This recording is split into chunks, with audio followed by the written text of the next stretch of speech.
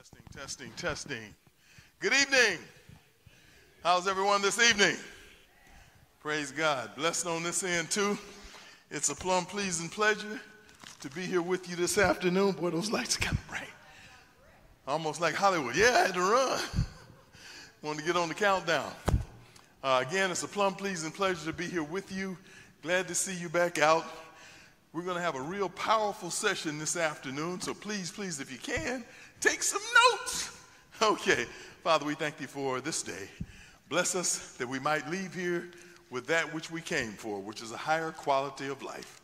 Little tidbits that we can do on a daily basis to raise our level of health. And we thank you for giving us this information, mainly from the Bible, which is the greatest prescription of all, the greatest medical book of all, is the B I B L L E. So bless us that we might be a blessing, is our prayer, and we thank you. In Jesus' name, amen. Amen, amen, amen. Did anybody remember what we talked about last week? Anybody? The Bible way. Does anybody know what the letters of the Bible way stood for? How about the B? It stood for best food in combinations. What was the best food in combination? Anybody? Live food, fruits, nuts, grains, and after sin, God added what? The vegetables. So fruit, nuts, grains, and vegetables. Uh, next letter was an I, which stood for intake of plenty of water. What was the, well, let's do it this way. In Ezekiel 4.11, we were shown a, no, a number of ounces of water to drink. How many ounces were we shown? Eight in Ezekiel 4.11. Then we found something else out, and that was the actual formula for the number, the amount of water to drink. Anybody know what that formula was? Half of your body weight in ounces of pure water every day. So if you weighed 130 pounds, you divide that in half, you have what? 64 ounces. 64 ounces how many glasses? Eight. If you weigh 200 pounds, you divide that in half, that's 100 ounces. 96 ounces is 12 glasses. So a 200 pound person would drink about 12 glasses. So the more you weigh, the more you drink. Why? Because for every one pound that you are overweight, your body has to make an extra three quarters of a mile of blood vessels to service the area. Okay? That means the more of you, the more your heart has to work. And when your heart has to do all that extra work, you only got one heart, guess what's going to happen? You're going to end up with some type of coronary artery disease, some kind of heart problem. And that's why we want to try to stay around. And so, therefore, drinking enough water will help that. The next B was for being temperate. Don't overwork, don't overeat, don't overdrink. Don't do the thing that breaks up relationships and tears up churches. Don't talk too much, okay? And uh, then the next letter was an L, lots of rest and sleep. We found that in Ecclesiastes 5:12. Uh, the laboring, uh, the sleep of a laboring man is sweet, but the abundance of the wealthy won't suffer him to rest. So if you work, you're supposed to get good sleep. That's why God gave it to you, a chance for your body to recuperate and recover at night. Uh, the next letter was an L, and it stood for what? Lots of rest and sleep. How many hours of sleep did we say were the best hours? Well, what were the best hours of sleep? Let's do it that way. From 9 p.m. to 3 a.m. Thank you, my sister. We've got a student up here, okay? Very good, very good, very good. Why was that the best six hours of sleep? Because the what? The moon. The moon has a gravitational pull. In Genesis, God said, I put two lights in the sky the great light to rule by day. What was the great light? Sun. And then the uh, lesser light by night. That's the moon. And the moon has a gravitational pull on the earth in the evening that causes the tide to do what? Go in. Are you getting this? And it also puts pressure on you and the earth and it helps you to sleep better. Y'all didn't know that? God was looking out for you. He gave you a moon to help you sleep and get into a deep sleep. The next letter was an E and it stood for exercise daily. What was the best form of exercise? Good brisk walking. Absolutely. Not this. They ain't walking, they talking. Good brisk walking. Okay? I mean, you're stretching it out. I mean, you're stepping it out. Well, I can't do that because I weigh too much. Whoa, whoa, whoa, whoa. No such thing. Whatever you weigh, if you're doing this and you're putting something into it, that's brisk walking for you. So there's no excuse because you can't walk as fast. I can remember a little lady, she must have been about 75 or 80 years old. I was about 40. And I'm out there, man, I'm getting down. I'm walking, and I look up, this little lady comes on by. And so I pick it up. She picks it up. I pick it up. She picks up. After a while, I had to stop. The little lady walked away, and next thing I know, she coming back around the track behind me again. So what does that mean? Some people just walk faster than others, okay? So all I'm saying is you can do what it takes for you. You don't measure yourself by anybody else. You get started today and get your walking in 35 to 40 minutes a day, will uh, five, six days a week will do what? It'll bring your blood pressure down, your sugar level down. It'll literally put, take your energy level up, okay? Take your waistline in, make your food digest, make your bowels move. Are y'all listening to me? Just walking. We're looking at prescriptions from the great physician, okay? And uh, the next uh, letter was a, was it uh, B-I-B-L-E? W was wonderful sunshine. That's the greater light. It did a lot of things, but what did the sunshine give us specifically? Vitamin D. It gave us vitamin D. 15 minutes of sunlight on your hands and on your face every day is enough to give you strong stores of vitamin D that goes into your liver and it stays there until your body needs it is vitamin D. It blends with your calcium and it gives you strong bones, strong hair, strong nails, and strong skin, okay? Uh, the next letter then, therefore, was A, and it stood for what? Air, fresh, and clean. The most important uh, element in the world is what? Oxygen, because God breathed into man's nostrils a Coca Cola and he became a living soul. That's not what happened, is it? no, he breathed into man's nostrils the breath of life. The first gift that God gave man was breath, was oxygen. And so we said that we would practice oxygen cocktails.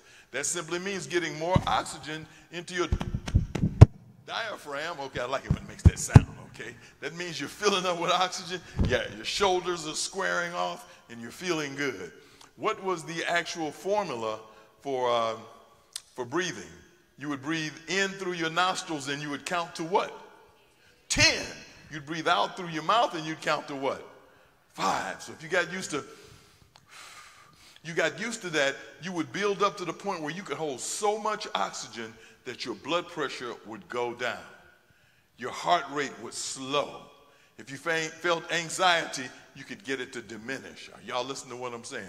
Just breathing, taking in more of the oxygen that God gave us. Folks always, uh, my wife used to tease me, but she said, You're the only man I know that can walk into a pulpit with a gallon of water and a chef hat on. Okay? Y'all wonder why I do that? Anybody? Shake, hold your hand up if you do. You don't wonder. Anybody know why I do that? Anybody? Example. A picture is worth a what? Thousand words. And the, the very fact that Jesus Christ came to this earth, lived, died, and resurrected over a piece of fruit tells you that eating is important. So when I have this chef hat on, it's saying to you, eating is important. You can't just eat anything as long as you what? Pray over it. You've got to look and see what was God's original intention for you. So again, that's one of the reasons. Then water is because water is so important.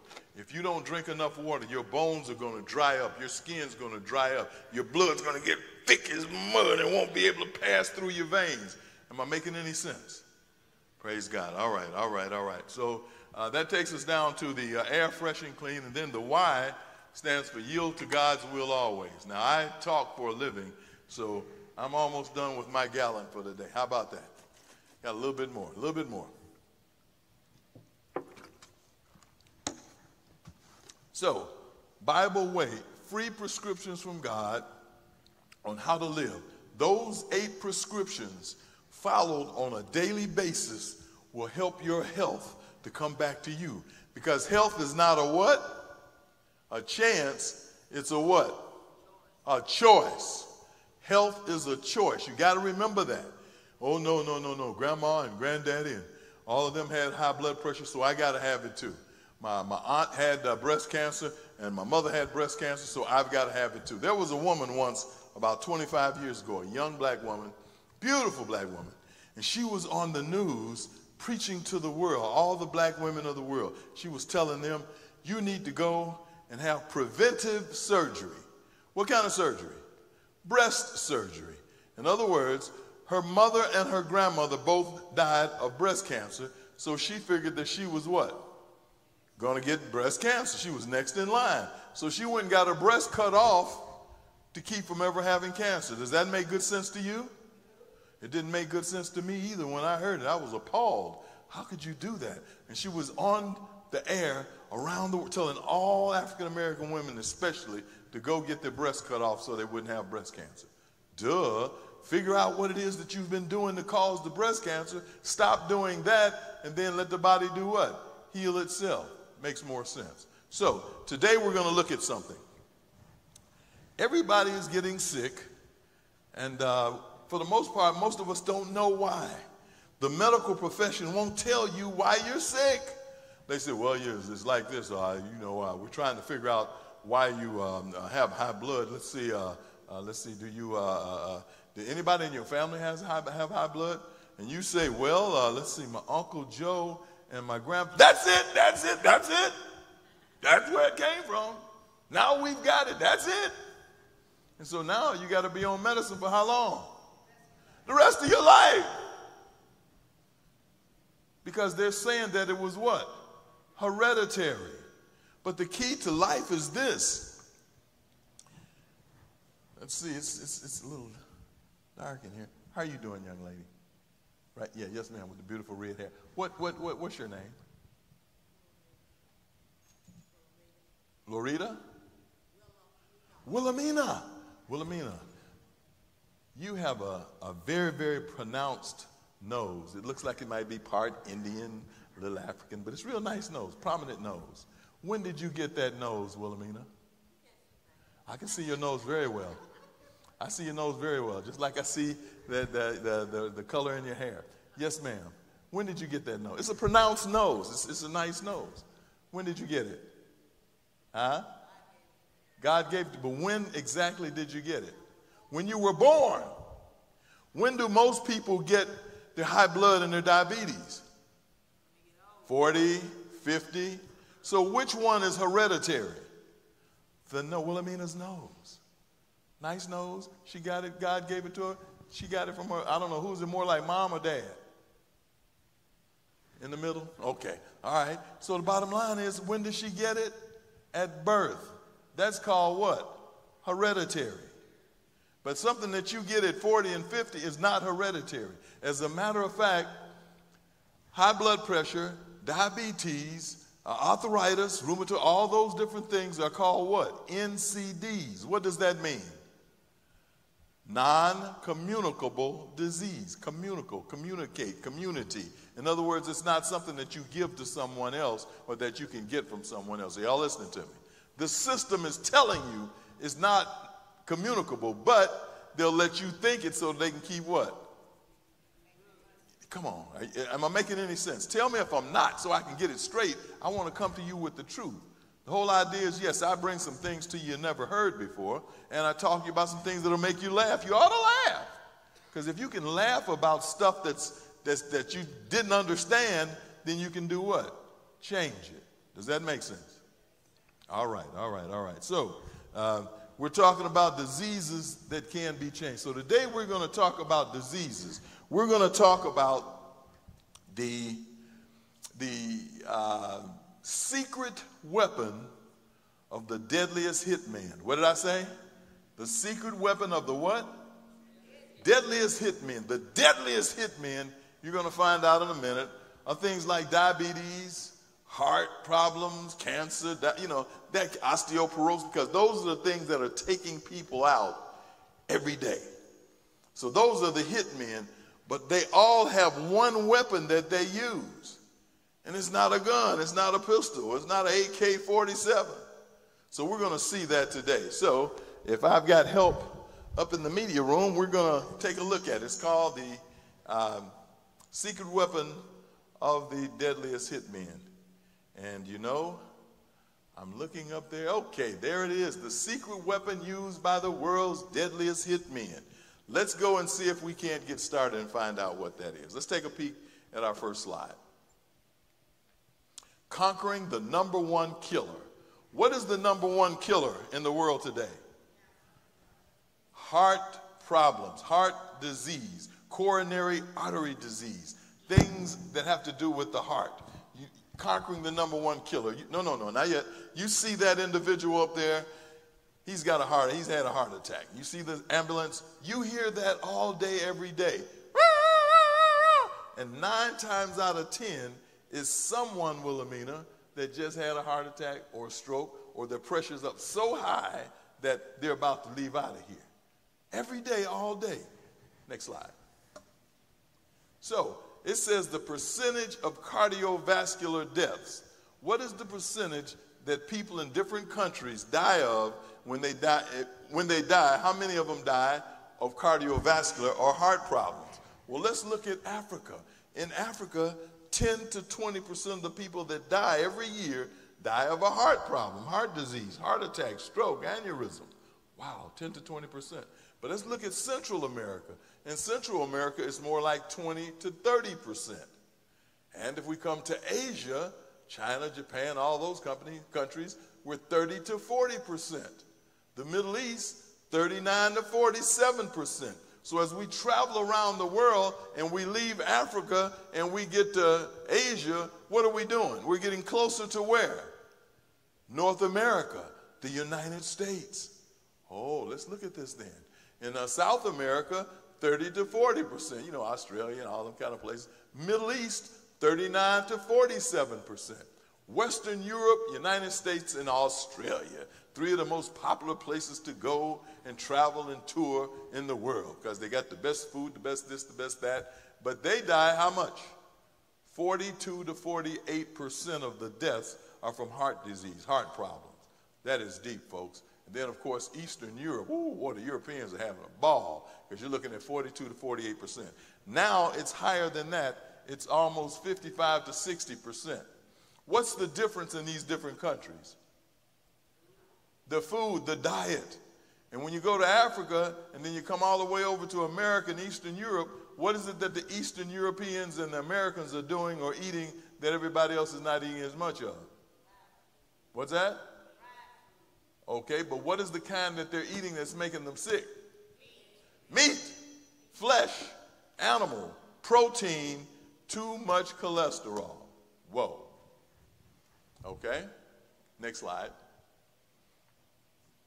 Again, the WHO, which is the World Health Organization, and um, the Institute, the National Institute of Health, the Health Heart Foundation, Diabetes Foundation, Cancer Society, uh, Arthritis Foundation, all of them came together and agreed that there was a certain thing that was happening that was making us sick.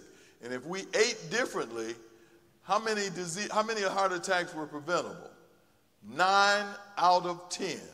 The WHO, the World Health Organization, all these people said that nine out of 10 heart diseases, heart strokes, aneurysms, all of this was preventable. Are y'all listening to me? I'm simply helping you to see that the health professionals, the health organizations, the top ones tell you that you don't have to have a heart attack. But yet still they'll say, oh, well, yeah, you know, it's hereditary. You're going to have to be on this, these meds for the rest of your life. Next slide. We're going to take a look at something here. The big three problems, causes of uh, having heart disease, smoking's number one. What's the second one? High blood pressure, hypertension. We're going to look at that a little deeper. But high blood pressure. High blood pressure is because of what? What is it that happens to the arteries that make them build up pressure? The wrong food. What is the wrong food? Nobody wants to say it? High cholesterol, meat, yes, but definitely cholesterol. So high blood pressure is caused by cholesterol. We get cholesterol because we're doing what? Eating the wrong food. So the reason for high blood pressure is bad eating, right? Okay, well, how about high cholesterol itself? We're eating what? The wrong foods. So two out of three of the reasons for having high, I mean, have high blood pressure or any coronary artery disease is basically bad eating. Uh, and we see what uh, the big three are. You see it sausage, eggs, cheese, and uh, meat, ham, salami, turkey, whatever, whatever we eat. Head, hog head, sauce. Y'all ever had that? I did. Ever had chitlins? I did. We call them doo-doo shoots. Okay, all right. It's like to laugh, like to smile. Next. Heart attacks, certain cancers, osteoporosis, diabetes. The major diseases of our society may be caused in part by what we eat. Something's amiss there. Heart attacks, certain lights can- for a minute. Is it possible to cut the brighter lights for a minute? See if we can see. If, if possible, if not, we won't worry about it. Okay, can we try again? Heart attacks, certain cancers, osteoporosis, diabetes. The major diseases of our society may be caused in part by what we eat. One of the physicians who helped me to understand why is Dr. Michael Klaper.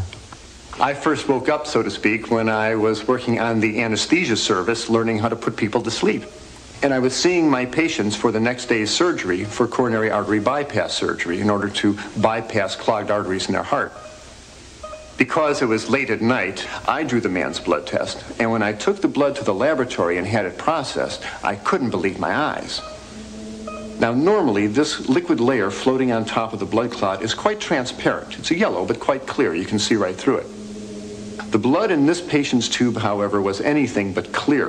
The serum floating on his clot was thick and greasy white. It looked like glue. In fact, it stuck to the sides of the blood tube when I shook the tube. I went back to the patient. I said, Mr. Phillips, did you eat before you came to the hospital tonight? He said, yes. I said, what did you have? He said, I had a cheeseburger and a milkshake. And when he said that, I realized that what I was looking at in his tube was all the fat in the beef burger, all the butter fat in the cheese, and the butter fat in the ice cream and in the milkshake. And all this fat had oozed out into his blood and actually turned his blood fatty. Well, 30, 40, 50 years of keeping your blood very fatty creates changes in the blood vessels that are very dangerous. Over the years, arteries can become clogged with fatty material. Then a blood clot can form, blocking the blood flow completely. If the artery leads to the heart, the lack of oxygen can cause heart muscle to die. That's a heart attack. If the clogged artery leads to the brain, the patient has a stroke. The next morning, we took Mr. Phillips to the operating room, and I put him to sleep, and the surgeon opened up his chest. And from these arteries, he began pulling out yellow, greasy deposits of fatty material called atherosclerosis. You know, if you were to die of a heart attack, and it's the most common cause of death in the country today, you might have an autopsy performed. It's a fairly common procedure. It used to be more common, but it's still done many, many times. What would happen is your body would be laid out on the autopsy table. And they would cut open your chest and, and dig around in there and find the coronary artery, the artery feeding the heart, that had gotten plugged up, depriving the heart of its flow of oxygen and blood, killing it, killing you.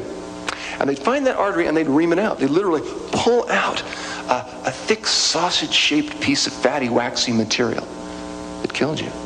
And they send it very carefully down to the pathology lab. Next day, the results come back, and they always say the same thing. This has been done approximately 3 million times in medical research in the world. The results always say the same thing. They say, in effect, saturated fat and cholesterol. Now, never once have they come back and said broccoli and tofu. All right, all right. Now, let me ask you a question. Are you all able to hear that plainly? You can hear it? Okay, up here it sounds like an echo. But what he's saying is atherosclerosis, or that hardening of the arteries and that blocking of your arteries and your veins, is basically you saw the little sausage like thing that they pulled out of the vein? That's atherosclerotic plaque, which is cholesterol and calcium and other minerals and things in the water you drink binding together and clogging up that artery so that the blood can't get through. And Leviticus 17 11 tells us that the life of the flesh is in the what? The blood. The blood that Jesus shed for me. Some of y'all look like y'all were going to sleep, so I can't sing, but I thought I'd wake you up. You know, what in the world is he doing? The bottom line if your blood is not flowing like it should be, you can't possibly have good health. What is it that helps the blood to flow? Good nutrition that's being digested, being assimilated into the body, and the waste coming out. It's a system. If any parts of that system don't work, you're going to be sick. If you don't digest the food, you're not getting any nutrition, you're going to be sick. If you digest the food, but you're not assimilating it or getting it, same thing, you're going to be sick. Or if you digest it, assimilate it, but you can't pass it out, and it sits there and rots and putrefies and morbid becomes morbid material, gets reabsorbed into your system, you're not going to be well. So you got to do all three. And all three of those take the right diet that God gave you because that diet had everything in it that was needed. Is that a hand? Yes.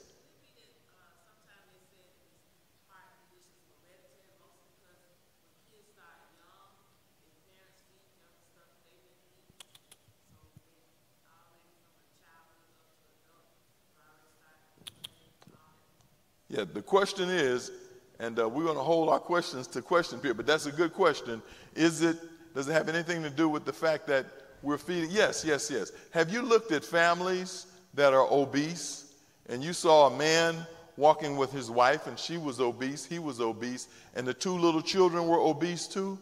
That means that everybody in the house just eats all that they want to eat as much as they want to and whenever they, am I making sense? So they start, remember, we talked about what heredity is, okay, that's when you get it at birth. Well, we used to be that people didn't get heart problems and diabetes until they were in their 40s and 50s and 60s. Now, 30s and 40s, even preteens, nine year old children are obese. Eight, nine, 10 year old children are having diabetes and high blood pressure because, just as my sister is saying here, they start off eating just all kinds of way at a very early age. And now we've moved into that situation where they're fast food age. Uh, you heard what he said about the man. The man had the heart attack, and he said, "What did you did you eat before you had the heart attack?" He said, "Yeah." He said, well, "What did you eat?" He said, "Well, I had a burger. You know, he probably had a Big Mac with cheese, right? Double burger with cheese, and I had a milkshake." So this guy had a burger, double patty probably, and they was loaded with what?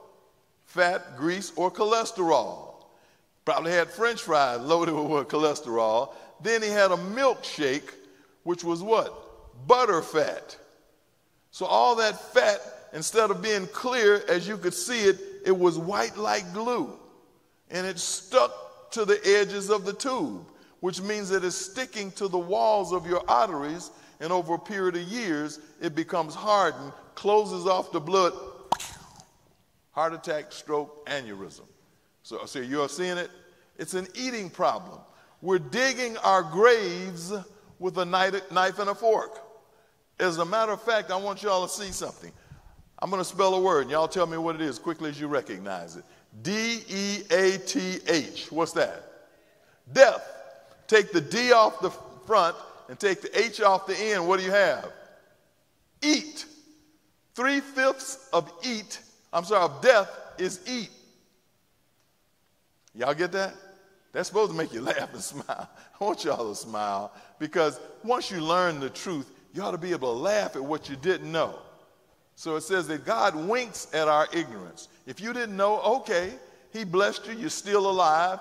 Now you're learning something. You're getting your back pinned against the wall. Most of you don't like that because it means you got to make a change. But what if the change is going to help you have an extra 20 years of life? And what if it's going to help you to have another 10, 15 years, but not hooked up to a dialysis machine and not walking around, uh, you know, almost crippled, not having legs amputated, not being blind? Am I making any sense? Who? That's not living. That's existing. Hooked to a machine or hooked to seven or eight medicines for the rest of your life. You don't have to have that. Okay? Um, my father, bless his soul, um, died in 1972. He died, died of a massive stroke. His brain almost exploded in his head. He was eating barbecue. Right after that, he drank some of his scotch, smoked a cigarette, and had, an, had a stroke right there at the table. Rushed him to the hospital. He was in Cleveland, Ohio. His best friend called me and said, Butch, that's my name, Butch. Frank, that's my father, Frank Sr., has had a heart attack. We're taking him to Cleveland Clinic. How fast can you get here? Within two and a half hours, I was on a plane in Charlotte, North Carolina, headed to Cleveland. I got there. His friend Brunson met me at the airport and said, I'm sorry, Butch, but Frank didn't make it. So I got mad at medicine because Cleveland, anybody ever heard of Cleveland Clinic?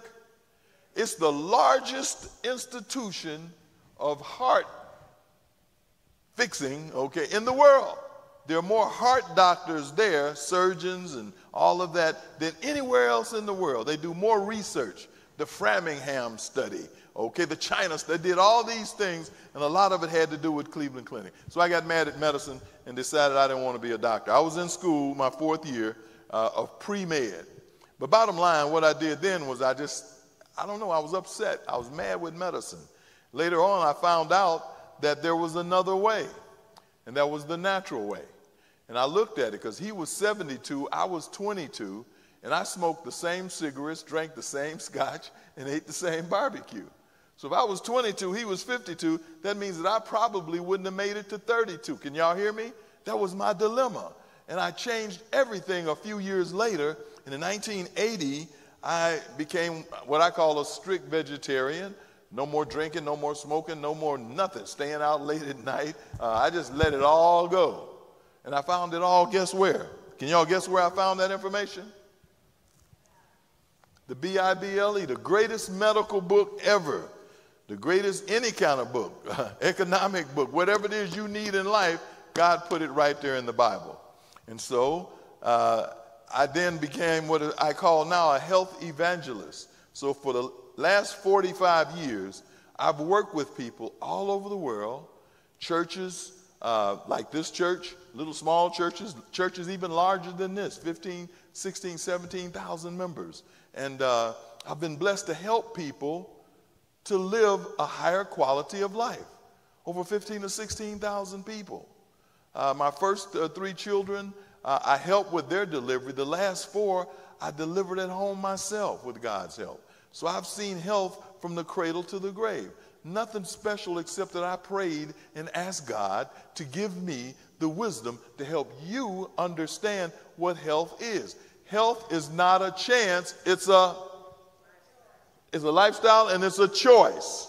You got to remember that or you're going to be a victim for the rest of your life. They're going to tell you that you got to take these drugs for the rest of your life. They're going to tell you we got to cut that out. You don't need it. And in nine out of 10 cases, that's not true. These stents that they're putting in your chest, cutting out part of your artery and putting in some plastic or rubber to replace it, or getting it from your leg and putting that artery in your chest, it's not necessary in a lot of cases. Some of those same doctors, Dr. Klaper, okay, these doctors literally were having heart attacks. They were operating on you 50,000, 75, 100, 150,000, $200,000 operations okay, three, four, five bypasses, but they wouldn't do it to themselves. And when they start having heart problems, guess what they did? They changed their diets and lifestyles. Am I making any sense? Don't you dare leave here tonight without understanding that you don't have to have a heart attack, you don't have to have high blood pressure, you don't have to have diabetes. Okay? We're going to go to our next, uh, next slide, please. Okay, so there's high cholesterol. High cholesterol is in foods like what? Cheese, milk, chicken, beef, fish, uh, eggs, uh, sausage, steak. Well, Brother Franco, I don't eat red meat anymore. I only eat white meat. I eat chicken and fish. There's just as much cholesterol in chicken and fish as there is in beef and pork. Didn't know that, did you? Let me explain something to you.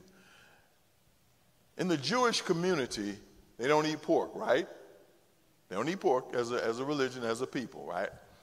But they like skins. Anybody in here like skins? I used to up some skin. Y'all know what skins are? Y'all don't know about skins? Let me see your hands. Okay, you've had skins with hot sauce on them. Mine. What?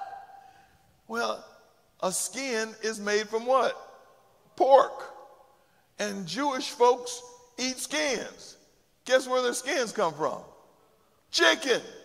All they do is they just just cut the, the, the, the, the skin off the chicken with that little layer underneath and throw it in the skillet, you don't even need grease. Guess what it does? It fries. It's loaded with grease or what? Cholesterol. And it tastes basically like a skin. I hope y'all are getting this. Chicken, fish, God gives the animals grease inside of their bodies because they don't wear clothes like we do. Inside of the walls of your house, there's something called what? Insulation. Do you change it in the summer or in the winter? No. It keeps you cool in the summer and it keeps you warm in the winter, right? But you don't have to change it.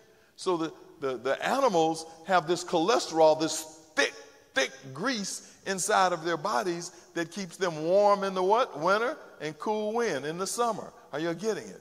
So it's good for them, but not for you because your body can't break it down and it's going to clog up your arteries, your veins, your bones, your colon. Something's going to get clogged up, and you're going to have a major disease. So, uh, again, no cholesterol in vegetables, fruits, nuts, and grains. Y'all got to get this. So, it has nothing to do with I'm eating. No, no, no, no, no. You're eating the wrong stuff. All that over on your left side is wrong because it's loaded with grease, when cholesterol. It tastes great, but it's not good for you. Next slide. High blood pressure is another hit man that's taken us out. Uh, they're all a part of heart disease or coronary artery disease, but it stands pretty much on its own because it's called the what? The silent killer. Folks will say, I have just slight blood pressure, or don't even know that they have high blood pressure. Just, uh, I have headaches every now and then. You know, every now and then I feel a little dizzy. Well, that's really high blood pressure in a lot of cases. And they literally go home and have a heart attack, an aneurysm, or stroke, never knew that they had high blood pressure. That's why it's called the silent killer. Next slide.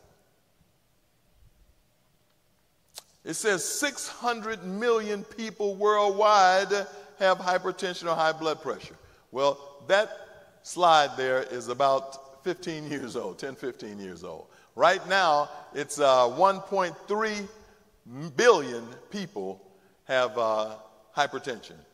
And where it says 3 million die annually, it's 715 million now. So, with all the, the research, all the money that they're throwing into researching cancer and high blood and diabetes, instead of it getting better, it's getting what? Worse. It's getting worse, folks. Next slide. Every third adult has high blood pressure.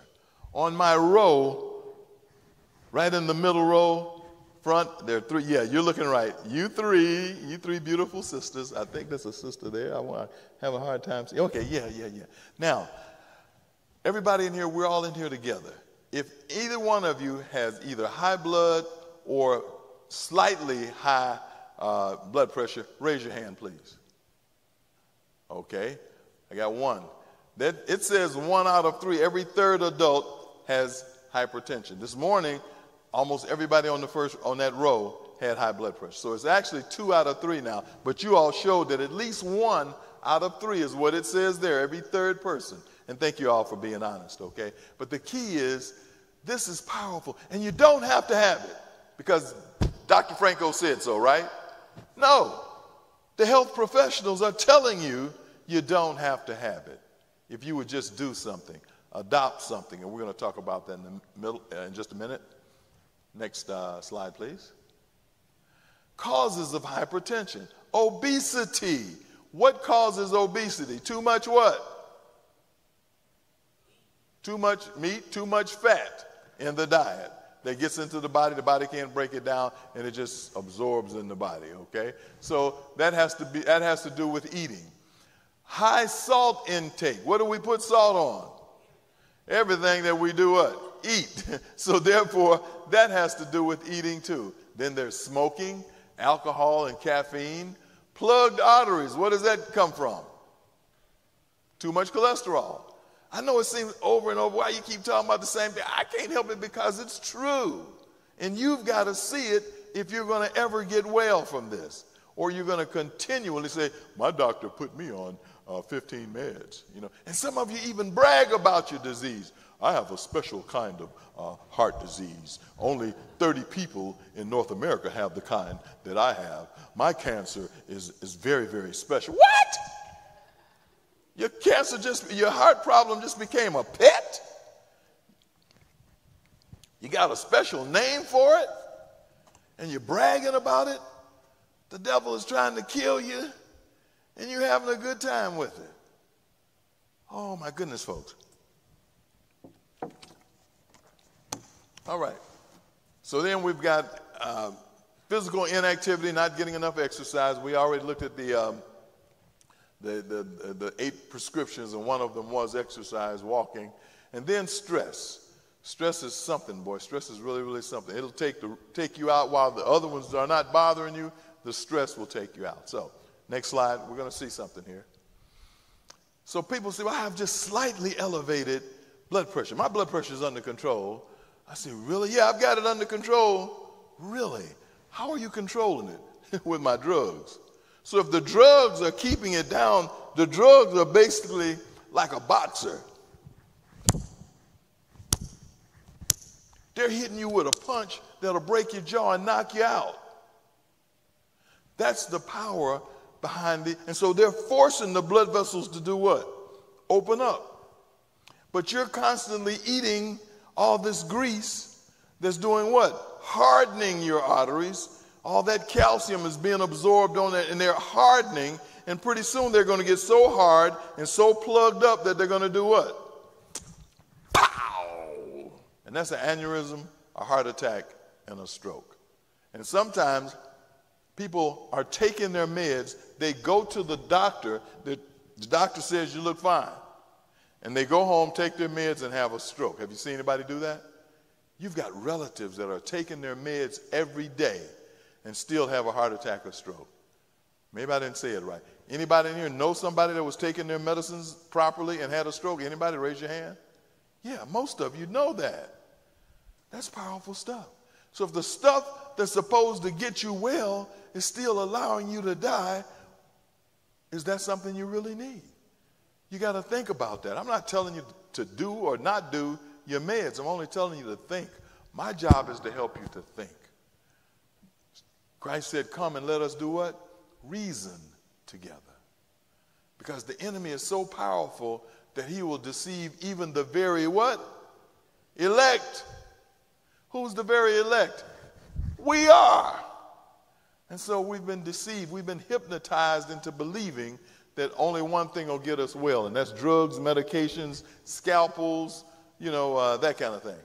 So again, is elevated blood pressure of much significance? Yes eight times the risk of stroke, three times the risk of heart attack, uh, six, I'm sorry, five times the risk of heart failure. So just slightly elevated, just a little bit of blood pressure is enough to take you out of here. Don't be deceived. Don't be deceived. Next slide. I wanted to learn everything I could, so I started researching and going to medical libraries. I was amazed by what I learned. Osteoporosis is a disease that worries a great many women today. In later years, the bones can become thin and fragile, and they can break quite easily. You know, the bones look very thin here. When I was told that I had osteoporosis, um, I became very frightened because I'm still young. And I just, I, I literally just fell apart. I remember going to bed and crying, and my husband came in and said, What's wrong? And I said, I'm disintegrating. Osteoporosis is a loss of bone tissue. And as a result, when somebody gets osteoporosis, they've essentially lost 50 to 75% of their bone tissue before they get a fracture. And then what happens is they cough or sneeze and they break a rib, or they ride over a bumpy road and they break a backbone. When you look around the world and you see where osteoporosis is common and rare, you're struck by the fact that it's common where people seem to eat the best in the sense when you consume lots of dairy products, like in countries such as the United States, England, Finland, Sweden, you have the highest rates of osteoporosis. Where they consume the least dairy products, like in your Asian and African countries, they have the strongest bones, the least osteoporosis. Again, that could be a coincidence, but some don't think it is. And one of the characteristics in, in osteoporosis um, that we, that I think at least is rather important, has to do with the intake of animal protein. Animal protein, for example, has been shown to increase the uh, loss of calcium from the body, which of course puts a person at, at a greater risk. Dairy products contain calcium, which helps to build strong bones. But they also contain concentrated protein, and some suspect that depletes the body of calcium. Dr. Klaper explained the theory. When one eats a piece of concentrated protein, for the next three or four hours, more calcium than usual can be lost out of the body through the urine. And when the body loses this mineral, it replaces it by drawing calcium out of the bones. So a high protein diet, along with smoking and lack of exercise and other factors, may contribute to bones that are thin and fracture easily. Osteoporosis tends to be a, a disease characteristic of, uh, of Western countries, which is really quite interesting because it turns out that in this country, if we listen, listen to the traditional information, um, it is suggested that the higher the calcium intake, uh, the lower the risk for osteoporosis in women. And so women are being advised to take more calcium. Uh, but it's rather strange that in China, where calcium intake is so much lower than here, they actually have lower osteoporosis, not higher folks, are y'all hearing what's being said? These are experts. They've worked with, have more clinical trials working with thousands and thousands, literally millions of people to prove that these things are true. And what they're saying is that the milk, the cheese, the, the, the, the meats are loaded with cholesterol, and this causes a problem. And the protein itself we're eating all this protein, and when the body tries to digest it, it is so acidic, it is so morbid, full of growth hormones, it's full of all kind of antibiotics, all kind of worms, da, da, da. So the body has to protect itself. So the body secretes calcium. The calcium acts as a buffer to kind of get rid of all that poisonous toxic. It, it, it kind of coats it. And when it does that, it does what? It hardens the arteries and the veins. It hardens the colon. It hardens the bones and the joints. And then the calcium leaves the bones and goes to try to do the work. So now there's less calcium. So women are affected more than, than men. Why? Because they have children, and the children require a good deal of their calcium. So I'm saying to you, uh, once again, one out of every three women are going to be affected with um, uh, the problem of osteoporosis and osteoporosis, hip replacements, knee replacements, so forth, so on, is a deadly thing. We saw earlier that it said this same cholesterol is the reason for most cancers, high blood, diabetes, arthritis. Most of those are caused by what? Too much what? Protein and cholesterol. Next, next slide. We're almost done, folks. Stay with me just a little bit longer. Now, these diseases that we see so many people affected by, uh, retina, which means macular degeneration, early blindness, is caused by what? Too much, too much protein. Pancreas, same thing. Too much protein. pancreatic problem, pancreatic cancer, kidney failure, same thing. We're looking at high blood, hypertension. We're looking at all of these are basically caused by what? Too much protein. Next, next slide. So again, we're talking about a silent killer. That's high blood, hypertension. All right, next slide. What sort of diet does promote health? Around the world, when people are trim and healthy, they suffer from various diseases that we don't have. For example, they have malaria and cholera and so on, but they don't suffer from the heart disease and the breast cancer and the obesity that we have. And the reason is very simple. They center their diet around starch absolutely essential that people understand this. This is not a diet of salads and broccoli and cauliflower that we're talking about. We're talking about a diet of rice and potatoes and other types of grains and vegetables, starchy vegetables, with the addition of fruits and vegetables on the side. And that's what people eat in rural Africa and in China and Japan until they become rich. In China, Dr. Campbell compared regions that are relatively poor to areas which are a good deal more affluent.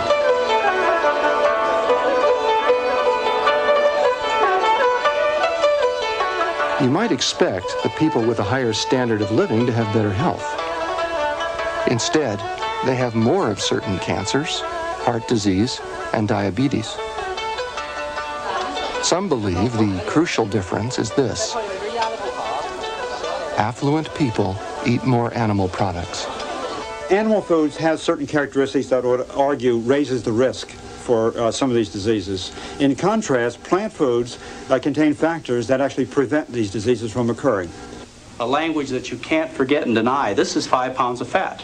This is what five pounds of fat weighs, and this is what five pounds of fat looks like. And in a few months, many of you may have six or eight of these that you're leaving behind permanently because you're not doing anything strange you're just enjoying a lot of healthy, delicious foods. When patients suffering from heart disease, diabetes, and cancer come to Dr. John McDougall, he gives them a very different prescription. He teaches them a new way to eat. There are some very simple concepts in nutrition.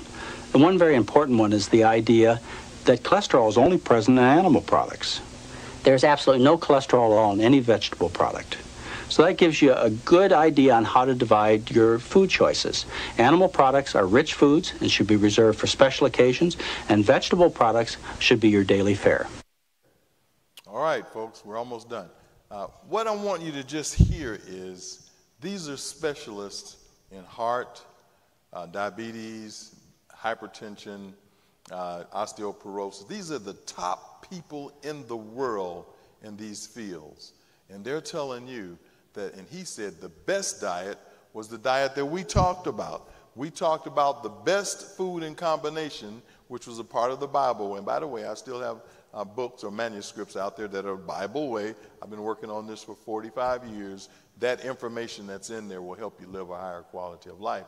But he's simply saying to you that the problem is not because you're not eating enough, because now that we have more money, uh, to be honest with you, black folks eating better than they ever ate in their lives, all right? I know some folks that actually sit at home, never go out to dinner. What do they do? They get their food. What's the name of the company that does that? Uber. They get it Ubered in. Yeah, they get Uber. Uber lunch, Uber breakfast, Uber dinner, Uber snacks. So we've got the money, but we're eating foods that are full of that which clogs up our arteries, our veins, our stomachs, uh, our joints, if you hear what I'm saying. So, bottom line, the best food they're telling us then is a plant based diet. Next uh, slide, we're almost done. So, again, on the left, we see that all the animal products and everything that comes from an animal, including milk, earlier you saw all the women with the mustaches, the white mustaches. Any of y'all old enough? Y'all don't look like it because she looks like she might be 26. What? She says she's 55, looking like a 30 year older. That's good stuff.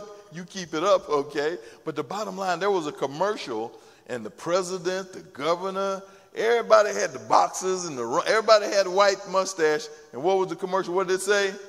Got milk. Well, if you got milk, you got mucus. Y'all ain't listening to me. Milk, sugar, and milk is a problem together, they form a deadly, deadly situation that causes what? Lots of mucus in your body. Have you ever eaten all that ice cream and your nose just started running on its own? The Haagen Dazs, boy, that quarter do to you. A whole quarter knock you out. And it goes down so smooth and so easy and so tasty. but boy, it'll make you so sick. Your stomach will do a roto rooter. Oh man, I mean, you be in trouble because it's not fit. Uh, i will probably show you something before we leave in the next week or two, but the bottom line is imagine here's a daddy and a, and a daughter underneath a cow sucking on his nipples, drinking milk. That's just a picture in your mind. But when we're drinking milk, we're the only animals on the planet that'll drink another animal's milk. Monkeys drink monkey milk. Dogs eat dog drink uh, dog's milk. Alligators drink alligator milk. Y'all let me get away with that. I was just trying to see if y'all were awake. You know, alligator with all them teeth ain't drinking no milk, but I just want to keep you awake, okay? But the bottom line is, we drink another. Milk is designed for that particular species so the baby can double its weight in a month or so so they can do what? Be able to get up and walk. Some babies, some animals are able to walk within 30 minutes to an hour because they've got to do what? Protect themselves. Our babies, we get a chance to keep them going for nine months or so as we watch them, okay? But we're drinking milk. Now, a cow, a calf will stop drinking milk at about two months, three months. And if he were to go back as a bull or a, a, a, big, big cow, a big, big calf, a baby bull, and try to drink some milk, what'll happen? He get kicked in the face. But we think you got to have what?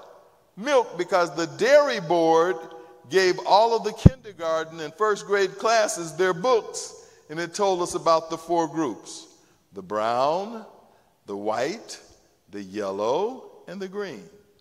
So, yes, there were some vegetables cooked over here, but the rest of it was meat, cheese, and what? Milk. Y'all get me? It was milk, I'm sorry, milk, cheese, and uh, what was the, uh, well, eggs, that kind of thing. But the bottom line, all the things that basically cause mucus. And that's what the nutritionists have told us that we should eat to be healthy. And guess what it does? That diet makes us what? Sick, fat, all these diseases. Next slide. So again, high cholesterol, silent killer. Go forward. Next slide. Osteoporosis, protecting. Have we been there? We, did we see this slide? No, we didn't. Okay, osteo. Okay, so osteoporosis. Let's take a look at it now. We said a little bit about it. Protecting your bones. Next slide. One out of three women over 50 has osteoporosis. We said that. Go, go ahead. Next slide calcium robbers, tobacco and alcohol, caffeine, physical inactivity, excess protein. Once again, protein is in there. Next. Okay, what's wrong with uh? What's wrong with calcium? All the enes are deadly poisonous to your system. Caffeine, theobromine, codeine, from drugs, all the enes, the ene family is very, very detrimental to your system because it rushes your bloodstream and it makes it do something that it's not supposed to do. It's forcing it to do something which messes with your immune system, messes with your nerves, and uh, so forth to the point where it just causes serious problems. But these are your calcium robbers tobacco and alcohol, caffeine, physical inactivity, excess protein, there we go again, too much phosphorus. Phosphorus is basically used to, uh, it, you find it in Coca Cola and other sodas, and you also find it in meat as a preservative, and too much salt. So, excess protein is an eating problem. Too much phosphorus is on meat, which is an eating problem. Too much salt is going on our food, which is an eating problem. All these are calcium robbers, which takes calcium out of the bones. Next. Next, next slide. Kale. Whoa, anybody familiar with kale? Guess where most of your calcium comes from? Green cruciferous vegetables. Uh, those are the, the ones that God uh, gave to man when? I say cruciferous. Cruciferous, okay. Cruciferous vegetables. Those are the ones that God gave to man after sin. He gave him the green herbs because the green herbs would do what? Refurbish his blood. His blood had gotten tainted because of sin. Now, with the kale and the cabbage and the spinach and celery, all these green cruciferous vegetables, he literally got what, more blood, more power to his blood, more richness to his blood. Because the, the, the, the, the chlorophyll that makes plants green and blood are identical in molecular structure. So if you would take them and put them together, they would match. So God gave man the green vegetables after sin as a what? A blood transfusion. I can't get y'all to get excited, can I? that is rich. That is good stuff when you see how the Bible worked. God always gave us what we need. But the green kale, one cup of kale has 179 milligrams of calcium. So do I if I cook it, will it still have that much calcium? No. So it's actually raw in my salad, or I'm going to juice it, okay? Next slide. Next slide. Okay, soy. They tell us that soy causes cancer. Soy is the worst thing that you can eat. I wonder why they tell us that, but yet and still they feed all of the animals soy to make them big and juicy and strong and healthy for you to eat. Why, if we go to Asia, remember Asia had only 10 to 20% of people having problems with high blood pressure and cancer and all that stuff, guess what they eat mostly? Rice and soybean. They're still living to be, there are more uh, centenarians, that means they're living to be 100 years, over 95,000 centenarians in, in, in Japan right now, China. That means they're living to be over 100 years old. They still can think, see, run, do stuff. Their, their eyes are still strong, their voices are strong, and they don't have cancer, high blood pressure, AIDS. Are y'all getting me? And then most of them are not big and fat until they get into the city and get what? Wealthy. Then they can afford to eat more what? Meat. You got it. Okay. Next, uh, next slide. Hmm. Yeah, soybean in different ways. That was soybean. That was uh, uh, soy milk, soybean curd. Okay, you do, you do a lot with soybean. You can make it look like cheese, like fish, like chicken, like uh, all kinds of things. Uh, it, it is a perfectly um, necessary food because of the power and the strength that it gives the body without the excess added things that give us the problems, okay? And then you see here almonds, filberts, flax seeds, sesame. Most of your nuts and seeds are loaded with what? Calcium. I'm showing you where the you can get nut milk, you can get almond milk, you can get soy milk, you can get oat milk. Uh, they make milk out of all those things because they're loaded with what? Calcium. Are y'all getting this? They don't let you know. They just make you think they're just doing something for you. But it's, it's what folks have been doing forever. Soy milk is not new, it's been around for 100 years or more. They just did it in places like uh, Asia and so forth. Okay, next uh, slide. Building your bone bank. You need to do weight bearing exercise. What's the best form of exercise? Walking. What weight are you doing lifting when you're walking? Your body. You're working against your own resistance. And when you're walking, you're moving every muscle, every joint, every ligament and tendon in your body. Reduce your protein intake. They're telling you to reduce what? Your protein intake. Yeah, but the doctor told me I need a high protein, low carbohydrate diet so I can lose weight. Duh! Low carbohydrate? What does your body burn for energy? Carbs, fats, and sugars. Just not Krispy Kreme sugar and not Colonel Sanders fat. Oh, wow, that's deep, that's deep. Okay, so uh, avoid calcium robbers. We talked about those alcohol and cigarettes and so forth, so on. Uh, get more sunshine because it gives us the vitamin D that mixes with the calcium to give us strong bones, uh, strong hair, strong nails. Uh, eat calcium rich plant based foods. That's all of our green, cruciferous vegetables. As many of them uncooked as possible. Now, anybody, I want to make sure that nobody leaves here and says the wrong thing about Dr. Franco. Did I say that you couldn't eat meat?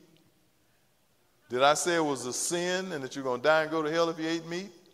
No, I just simply showed you why it's a problem. You have to make the decision. I don't care. You could eat a rhinoceros with pink toenails. Ain't gonna bother me. You see, back in the day, I ate my share. I ate monkey, moose, snake, snail, alligator, Kodiak bear, chocolate covered ants, everything that they said was the coup de grace, I had to have it.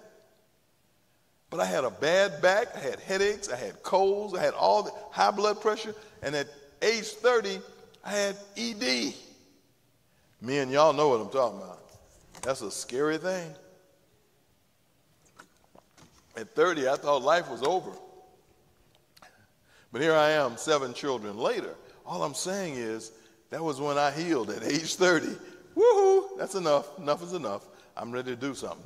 And I love to eat, so I learned how to make these delicious foods out of plant-based, out of a plant-based diet. And we're going to introduce some of that to you next week because we're going to do something that's called Where's the Beef? What did I say? Where's the beef? We're going to look at how we got to where we are now, biblically, scientifically, how we got to eating the way we do. We're going to look at that next week. And I'm going to allow you to eat some meat. You know, all the wheat, all the meat you like to eat made from oats and soy and wheat. Shakespeare. Okay, no, no, no. Just letting you know that you'll get a chance to taste something that'll shock you. Because I eat uh, hot tamales, Philly cheese steak, pizza, all of that, just no animal. And it tastes great. And you'll get a chance to see that too. Next slide. We're getting ready to finish up. Okay, again, high cholesterol is all animal products and all products that come from animals, okay, cheese, milk, all of that is literally loaded with cholesterol. But no cholesterol in vegetables, fruits, grains, nuts, and seeds. No cholesterol. Next, next slide. That should be about it. Next slide, please. Okay, disarming diabetes. Let's quick like, let's look at that. Disarming diabetes. Next slide. Okay, diabetes. I call it diabetes because it's either going to die or beat us. Get it? Okay, trying to make y'all laugh. Explosion of new cases, double within 25 years. Over 300 million people. Actually, now it's 715 million people. That slide is about 15 years old. Next slide. What are some of the complications? Just like high blood, some of the compl complications are eye problems, uh, early macular degeneration, kidney damage. People ended up on uh, uh, uh, these, sitting on these machines, on dialysis, okay? Heart disease, strokes, aneurysm, all these are complications of diabetes, okay? Next slide. Sexual impotence, men, women too, ulcerative sores, infections, amputations, getting legs cut off, get the foot cut off, then get it cut off to the knee, then get the leg cut off, then go over and start working on the other foot. Are y'all listening to me? Breast and uterine cancers, fibroids, fibromyalgia, all this stuff basically comes from eating the animal products and ending up with diabetes. Next, next slide. Exercise regularly is something that we ought to do to get the body to function. You start exercising, that means the body will digest the food better. When it digests the food, it'll make the colon starts work, start working, and you can do what? Actually assimilate the food into the system. It can go to the organs where it needs to go to to make them heal and make them strong. And then it causes the bowels to move like they're supposed to. It brings the pressure down, brings the diabetes down, brings the energy up. Just exercising on a regular basis helps to get these sicknesses and diseases, these hit men, it helps to get them under control. Next slide. Again, they say that you need to, if you want to get rid of diabetes, you need to eat a what? A low fat diet. Next slide. Low fat plant based diet. Okay, and if you're going to eat that plant based diet, what's, what, what form should most of it be? Raw or live, uncooked. You can eat cooked food, but you need some what? Live to go with it because this is what you need, this is what you want. Okay, next slide. High cholesterol, no cholesterol. I keep putting that before you so you can see that there's no cholesterol, there, there's, there's, there's no mess up, okay, in a plant based diet. But all of your problems are in the plant based diet, not in the plant, I'm sorry, in the uh, animal diet, not in the plant based diet. Next, next slide. That is what it looks like. The first diet that God gave man was fruit, nuts, grains, and then he added vegetables. If he had wanted you to eat animal products, there would have been hot dog trees, hamburger bushes, and hot wing vines. Okay, I like for us to smile and laugh. Next, next slide. Okay, so it calls for a what? a permanent lifestyle. You can't keep jumping on, jumping off, jumping on, jumping off, jumping off, jump, and just staying sick. You got to make a decided change because, again, health is not a chance. It's a what? It's a choice. Next slide. Okay, that's it. You can cut it. You can cut it. You can cut it. You can cut it. It just simply says that the liability to take disease is increased by eating animal products. So, uh, a couple of questions, and then I'll be back at the back table. We've been at it for about an hour. Yes.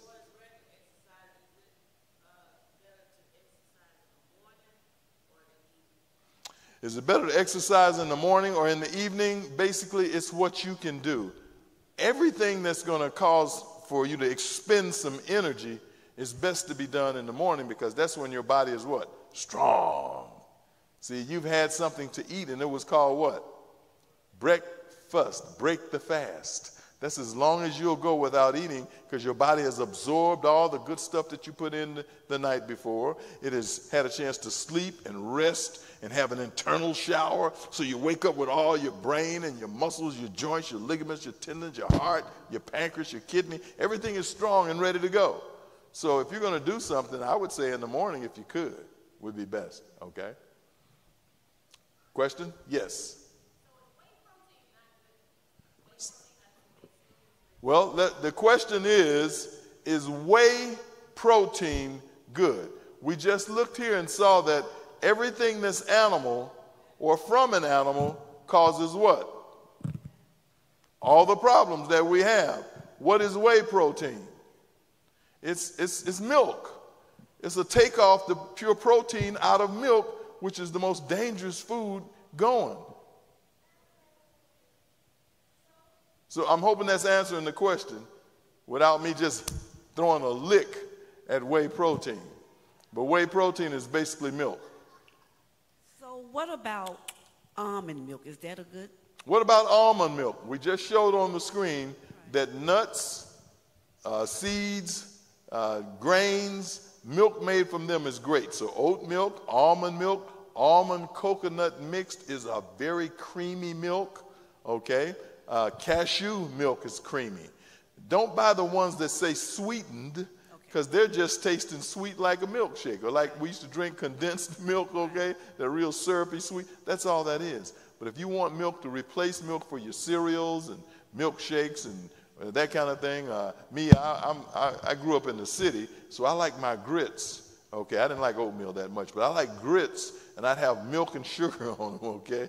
And uh, so I still like milk. I used to drink milk a quarter at a time. So I like milk. So I drink uh, almond milk, cashew milk, because they're very creamy. But yes, they're good for you because, again, they're not animal byproduct. They're the same plants that we've talked about, plant based diet. Absolutely good for you. You got another question? Yes.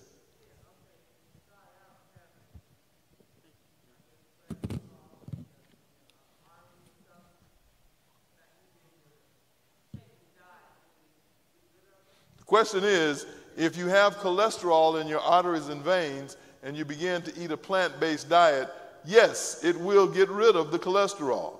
Because, first of all, if I came to your house and your kitchen sink, uh, the, the faucet was running, the sink was stopped up, and the water was overflowing onto the kitchen floor and about to get into the living room on your brand new carpet, would I come in and began to mop the floor? No, that's putting a band aid. I would go and do what first? Turn off the faucet and then do what? Unplug the sink.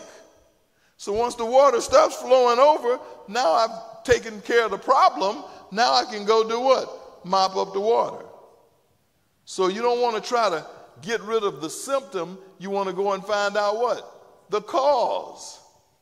So, whatever the cause is, if the cause is too much eggs, I don't need to take some protein for my bloating and burping and griping. I need to get back off the eggs because they're going to cause that because they don't move through the body because eggs don't got no fiber. And if you ain't got no fiber, it ain't going through your body. Am I making sense? Yeah, so absolutely uh, it will help to clear out the arteries and veins. You're not putting it back in, so you've stopped the problem. Now you go and start eating better and you start pulling that cholesterol out of the arteries and veins a little bit at a time. And that artery that's closed up will begin to do what? Open back up. Absolutely. Oatmeal is great. Any grain is good. Grits, oats, oatmeal, all that's great for you. Absolutely. Oatmeal in the morning with some fruit and some nuts. Woo! That's a wonderful, wonderful meal. Back in the days, the old folks called it porridge and stuff. It was just oatmeal, just oats and grits and things like that. Absolutely good for you. But you notice you got to have some fruit with it, okay? Apple, banana, peach, raisins. But raisins with some other fruit, because raisin is a dried fruit. It's mainly a natural sugar form, but you still don't have any fruit with fiber. So I would have some apple, peach, pear, banana, grapes with the raisins, if you hear what I'm saying. Yes. Got one more question, and I'm going to go to the back and I'll answer all the rest of the questions back there. You what all about, have been a wonderful crowd.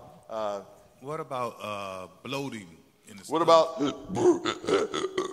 bloating and burping? Uh, I, grew up, I grew up in Chicago, and I was a cut up. And one day I was bending over to pick up a pencil, and when I bent over, air got in my throat. When I came back up, uh, I went, What? And so I would be at the back of the class just belching and bloating, and everybody would be having a fit and laughing at me, right? And the teacher brought, got me and brought me up to the front room, spanked me with the ruler, and made me stand up in the corner.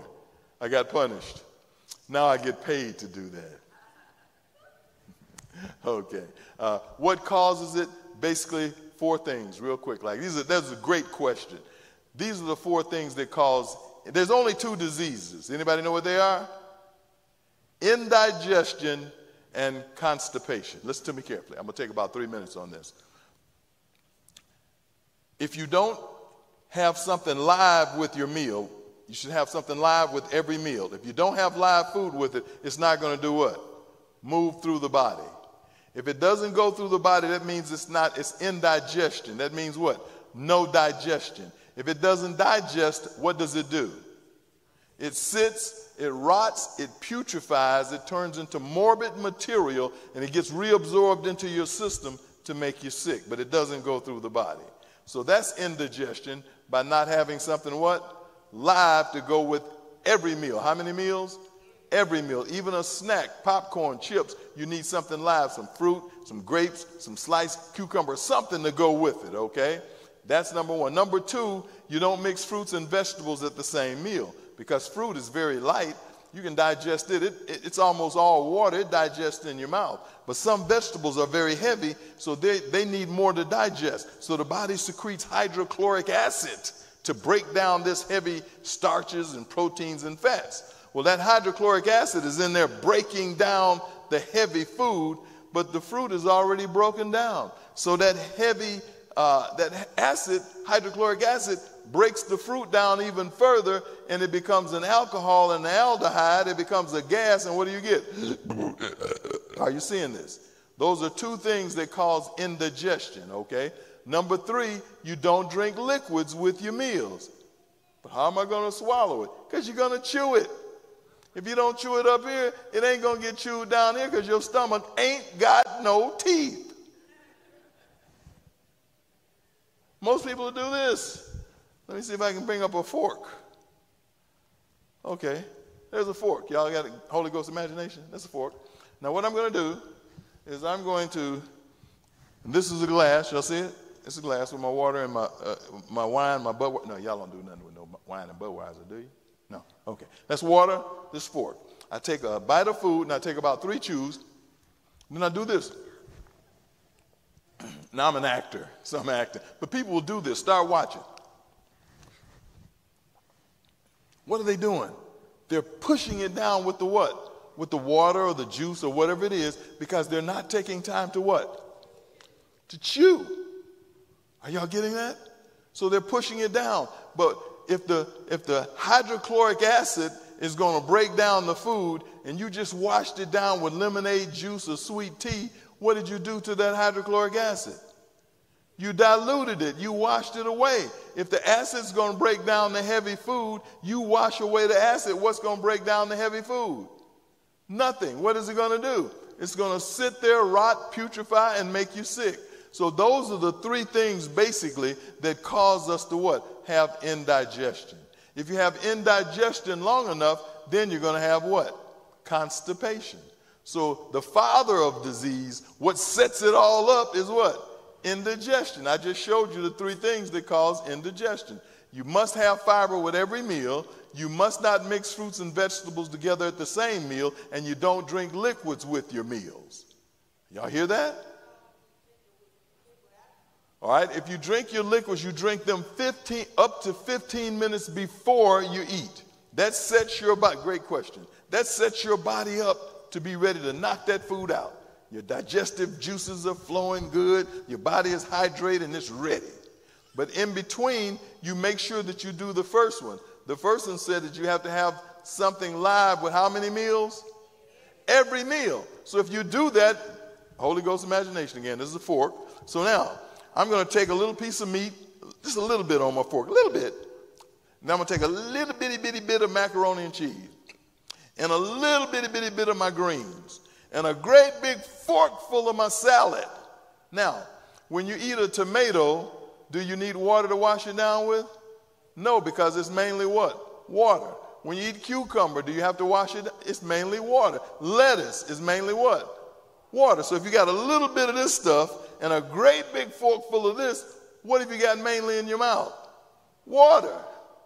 So if you just do that first one, now you've got enough water. You don't have to drink water, and it's the right water because it came off of the vegetable and it's got what? Enzymes and everything it needs to break it down with. So y'all get what I'm saying? You don't have to drink with your meals. But if you do it the other way and just eat cooked, dead, dried food, as fried and all that grease, you got hot wing sauce, hamburger sauce, and and Heinz sauce and Texas Pete hot sauce, All mm, salts, boy, they make you want to drink something. Am making sense? Okay. Folks, she said, no more hot wings. There's some hot wings. They've got hot wings uh, made out of all kind of plants. And they almost make you think you're eating hot wings, eating real deal, folks. We're going to close with this scripture. Three, uh, no, not 3 John 2. Uh, that's a good scripture. Uh, but we're going to close with Romans 12, 1 and 2. What scripture did I say?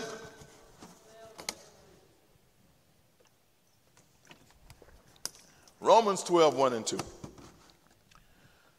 I beseech ye, therefore, brethren, by the mercies of God, that ye present your bodies a living sacrifice, holy acceptable unto God, which is your reasonable service.